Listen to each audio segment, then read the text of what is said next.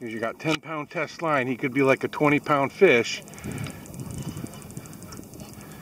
And you just want to keep that tension on like that.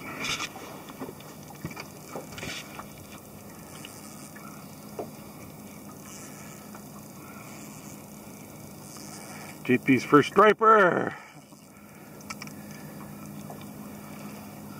Hopefully we get him in the boat. You're doing great.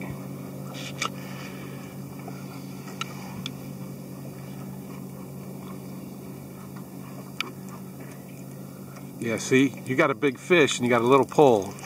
All right, I'm, I'm gonna let the tension now. Let him let him run. We want to keep the pole tip like that. What we don't want to do is break it though. You just tire them out. You're fine. You're not gaining on them now, but you're fine.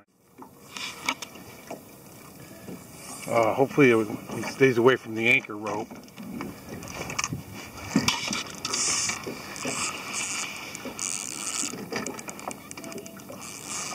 That's what it's all about. Nice fight.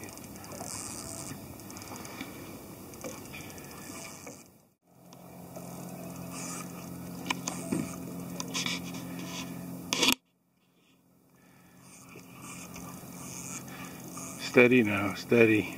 Whoa! Oh, He's a good one, huh? yeah. You got the net? Um, I will. Hold it by the belly. Hold tight. You come down with it.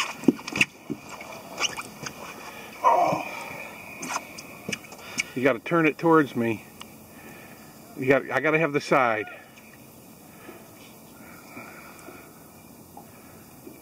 Okay, that's good. We're getting it.